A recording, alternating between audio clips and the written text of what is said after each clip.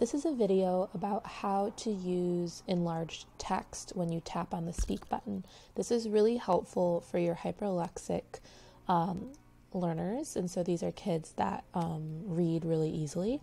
Um, so it really highlights the text in the sentence bar at the top um, once the sentence is complete and you press on that, um, that white line at the top.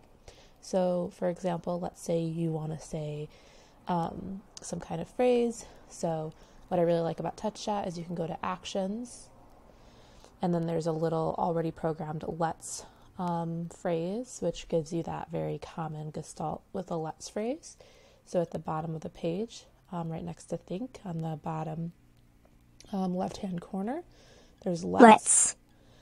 And let's say you want to say, let's go. go for a walk. Let's go for a walk. And so when you press right now, it's not going to do anything. Let's go for a walk. It's just going to state the sentence. But if you want it to highlight the sentence and clear everything away to kind of help those hyperlexic learners, you go to the top right hand corner to menu right under the battery. And then you're going to go to settings, which I'm highlighting right now.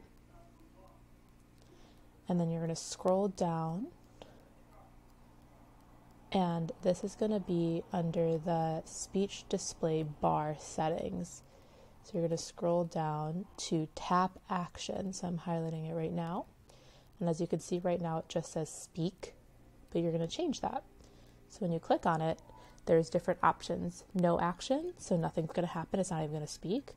Speak, so right now it's just going to say, let's go for a walk or speak and enlarge text, which is really cool for our hyperlexic learners. So we're going to choose that, and now it's a check. It's a check mark. If you look, it's checked to that one, and you'll see tap action is speak and enlarge text. So click done. So now when you click that white bar at the top, let's go for a walk. It's going to highlight the text, and then when you click it again, it goes back to the full screen. I hope this helps.